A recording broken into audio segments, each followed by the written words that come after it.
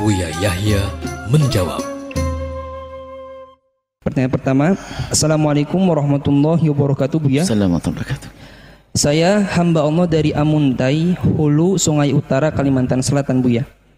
Apakah boleh melakukan sholat sunnah qobliyah tapi adzan besar masih belum dikumandangkan? Soalnya saya sering duluan mengerjakannya di rumah agar saya sempat ikut ke masjid berjamaah sholat fardu. Sholat sunnah qobliyah itu waktu masuknya adalah kalau waktu sholat itu sudah masuk.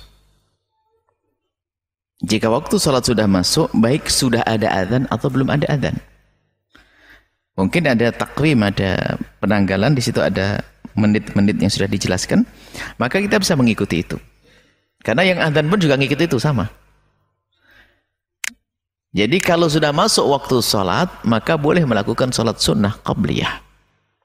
Biarpun belum ada adzan di masjid. Karena itu waktunya. Nah, kemudian ada nasihat juga, Adzan di masjid yang diangkat di menara itu hendaknya di awal waktu.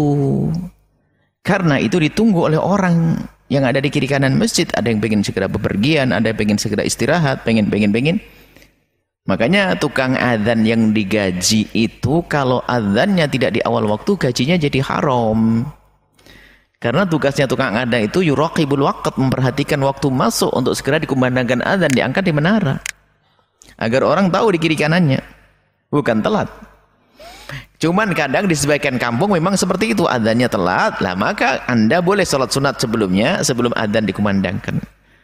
Tapi di saat adzan sudah dikumandangkan maka sunnahnya anda mendengar adzan. Baru setelah adzan anda melakukan sholat sunnah qabliyah.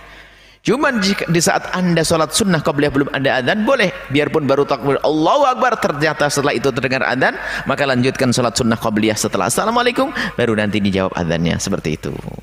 Wallahu a'lam bissawab.